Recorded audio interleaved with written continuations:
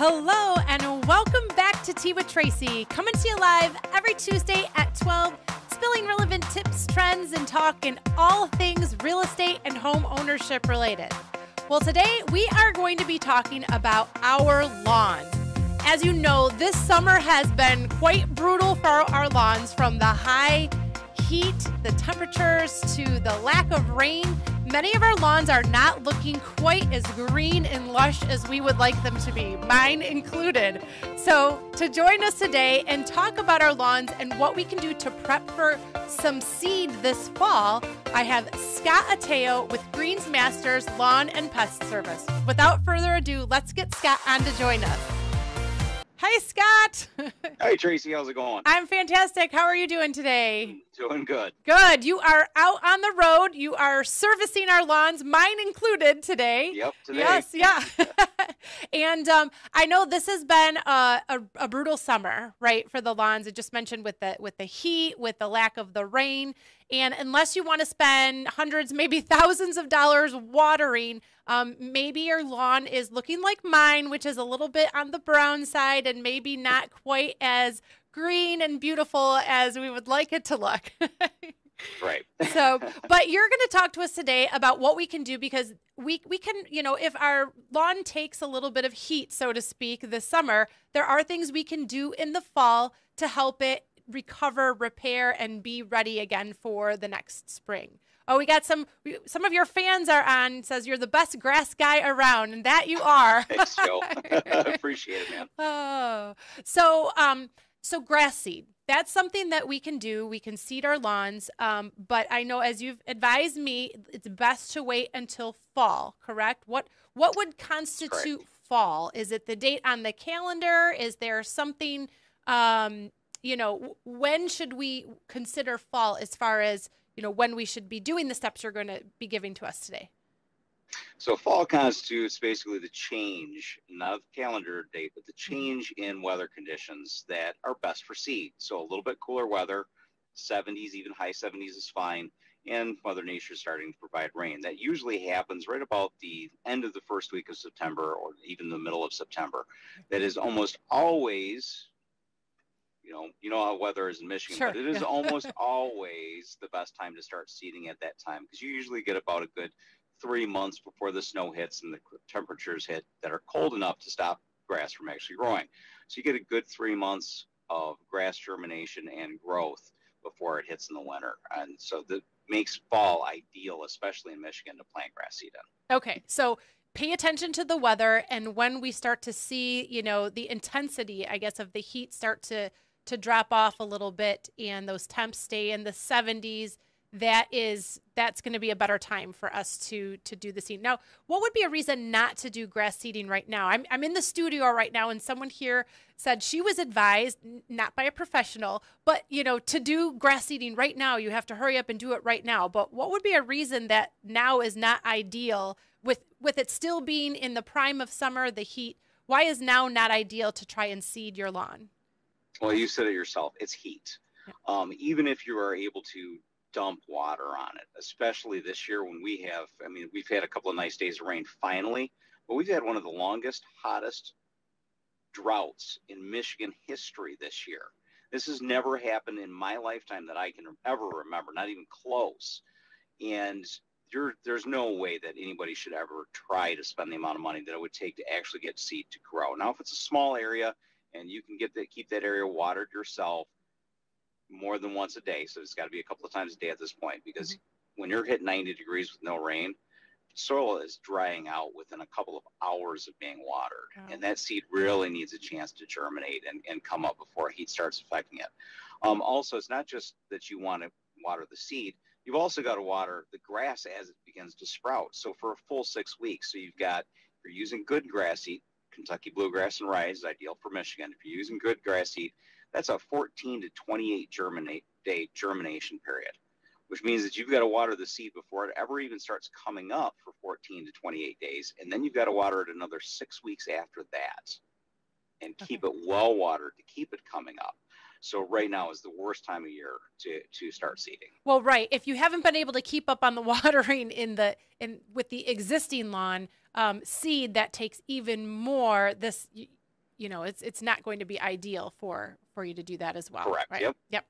So, okay, so we're going to wait till fall. We're going to wait until the temperatures right. are in the 70s. Things have cooled off a little bit. We're starting to see a little relief as far as this heat.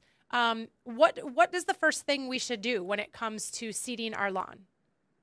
Well, first first thing to do is make sure what you're actually seeding. Now, if you've got large bare spots, that's a totally different type of seed than if you've got some thin areas that you just want to repair, especially thin areas from summer that got damaged. Mm-hmm. Um, more than likely, if you're very very heat stressed and heat damaged at this time of year, not only you're not watering enough, but more importantly, you probably have almost all of the finer grasses. Um, some of the hardier grasses with the rain that we've had recently are already recovering. And if it's still looking really brown, it's because you have a finer blend of grass that cannot take the type of temperatures that we've had. Okay. Um, if that's the case, you need to pay attention to what your lawn's actually doing right now, and you want to go ahead and go with a hardier stock. So a sun and shade mix in Michigan is always going to be best.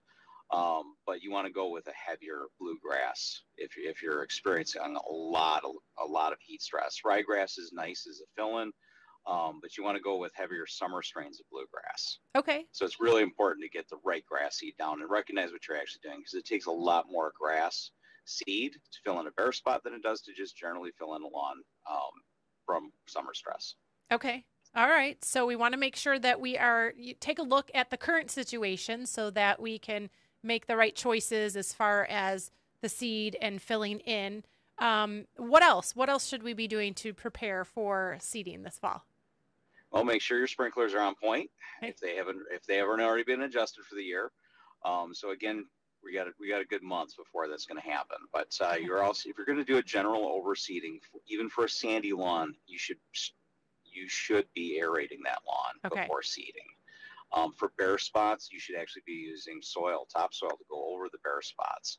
Aerating is not going to help with large bare areas. It'll help a little bit, but is not going to, to provide the proper seed bed. So if you've got a large bare area, in other words, anything bigger than a dinner plate, you probably ought to add a little bit of topsoil, um, half an inch to two inches deep, depending on what you're looking at, and then seed over top of that. Okay. All right. So we want to make sure we're taking a look at our lawn and, and you know where maybe we had some of the finer finer grass and make sure we're putting something thicker in. Do some aeration. So that is just where Correct. you come through and you know you have parts of right it digs down into the into the soil a little bit and, and pulls some of it out. So it allows access right for the water that's, and the dirt. that's correct. And that's why it's called core aerating. So it's different than the guys riding around with little spikes on the back of their tractors. That is not aerating. Um, yes you're you're helping loosen the soil a little bit, but it's not the same as a core aeration. A core aeration goes goes about about two inches deep usually, mm-hmm. and it pulls out what looks like a really small apple core all over the lawn, and yeah. that decompresses the soil and allows seed to get into those holes. And but more importantly, it also allows water to get in there and hit the root system and the new seed and be able to have, hold there. Um, so then providing a nice seed bed for it. Okay, so aeration is a very important step. And if you haven't had your lawn ha- have a core aeration done, um, you'll know if you have because you look at your lawn and you think, did somebody let their dog loose? Because at first it looks like you know or you have geese. yeah, or geese, right. But it's oh. just the dirt from from below. So so you want to make sure that you aerate it. Um, you, and then you had said if we have larger areas that are larger than a dinner plate that we should also be putting one to two inches of topsoil down um, prior to putting the seed down. So that what that gives the the seed something to to hold on to to what's to actually drill its way in. Okay. So seed is is really it's genetically it's an astounding thing. Grass seed has a microscopic hair on the tip of it. Um, so it actually drills its way into the soil. Now, if it's heavy clay or it's too compact, even really compact sand, it's going to have a much harder time actually getting down in there. So if you give it some nice loose soil, it will drill its way in. And, and by the way, when you're doing this, do not put hay or straw and don't even mix the seed into the soil. Leave it right on top. Okay. If you do that, seed will germinate itself faster than if you cover it because it's already got the sunlight. So it's going to try to protect okay. itself from the sunlight. It will drill its way into the soil. It'll germinate faster and far better on its own than if you try to help it along other than okay. with water. So now what about like because you know we've all seen the lawns that the seed, you know, areas and then the the hay or the straw on top. What is a reason, you know, I know you said that it's we get direct access to the sun and it'll be quicker, but are there any other reasons not to put the the straw or the hay on top of the seed? Yes. Yeah. The biggest reason is going to be that hay and straw always come with hay seed. Even the best stuff that you can buy. Now, there are some that have been sterilized, but there really is no point. You're wasting your money. Just put the seed on top of the ground. But the biggest reason you do not want all the contaminant seeds that are in that straw to go into your new grass. Otherwise, you end up with a bunch of hay, tall fescue, barnyard grass, barred meadow grass, okay. Timothy, and a whole bunch of other stuff that are we, involved we with don't hay want. cutting. Yes. Right. Okay. Now, what about those who have said, but I have to put it down because if I just leave the seed, the birds are going to come and eat it. Does that happen? Very untrue. Okay. No, it, it does. Look, there's there's a couple of smaller birds that do eat seed. They will never eat enough to make a difference on the amount of seed that you put down, as long as you're putting it down heavy. Um, for the most part, if the birds are there, it's because you have bare areas and they can easily see and hear the worms crawling through the soil there. Um, and you're keeping it really well watered so the worms are coming up to the surface. It's prime feeding. Most birds that are accessing those areas are predator birds and they are not eating the seed. Okay. All right. So good to know. So you don't need to, to, to go and do the extra step or the extra cost or, or anything of putting the seed or, or I'm sorry, the, the hay or the straw down. Right. Just just put the seed on directly and then make sure you're watering it, right? I, I believe Correct. you said we have to water for how long do we need to be watering this new seed in order to make sure that it has that opportunity to, you know, connect with the soil? 15 to 20 minutes in the morning each morning. And uh, usually you want to go somewhere between 3 and 6 p.m., the hottest part of the day, the warmest part of the day, and just give it a five minute sprinkle. Okay. Um, that five minutes is not enough to pool on top of the seed. It's just long enough to cool the soil temperature down and keep it a little bit damp for going into the evening time. Okay. All right. Well, this is great information. Um, as you know, as far as what we need to do to our lawns to help fill in those bare spots, or maybe we have some larger areas. I think there's going to be a lot more people this season. Like you said, we've never seen these temperatures like this in our lifetimes, um, and so there's there's probably going to be quite a few people that that need to do this process. If you have any questions, um, you can definitely contact, put your questions in on this post um, you know, or contact Scot directly at Greens Masters. Um, but anything else that that we should know? Anything else you want to leave us with as far as preparing for grass seed this fall? Yes, uh, Okay. two things. Number Okay. one, for the soil, make sure you're reading the ingredients on the soil bag. Don't get any cheap soils because they Okay. always come with really nasty weeds Okay. um, and heavy concentrations of clay as well. Um, so you want to go, my go-to, not to pitch them, I'm not getting paid, but Miracle-Gro topsoil is the best out there that I have found. It is pure topsoil. Okay. Um, but read the back of the bags. If it says anything about peat moss being mixed into it, because there are things called lawn soil or garden soil, those are not good for your lawn. Believe it or not, despite the name lawn soil, Yeah. there is a large amount of peat moss. Peat moss is ground up debris, which includes wood chips and sticks. That is not good growing No, material for no. grass. So you want pure topsoil. Um, Michigan peat can be mixed in, and that's good. Um, Okay. So that is a swamp silt. Um, the other thing to make sure that you're doing is reading the back of the seed bags. They all have the ingredients in them. You want to avoid anything that says creeping red fescue Okay. or tall fescue.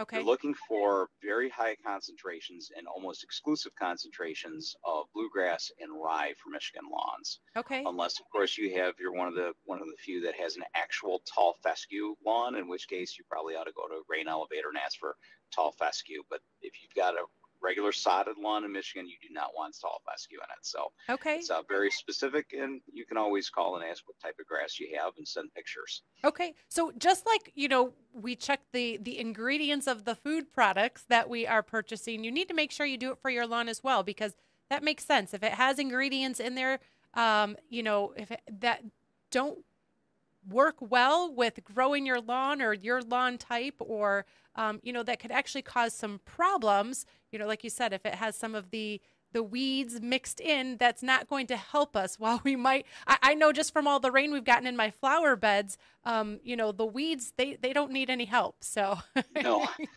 they, they do well all on their own without Yeah. us. all on their own so we definitely don't want to be you know providing them with rich soil and plenty of water so um. All right. Well, thank you so much, Scot. Thank you for taking the time out of your day to join us and provide that fantastic information. Um, you know, if you're watching this and you need to do, you know, seeding of your lawn, you might want to replay it. Take down some notes as to the the types of grass seed you should be looking for and the timing. Um, and if you have any further questions, please don't hesitate to reach out. You can contact Scot directly or through me, and we'll be happy to get you the information that you're looking for.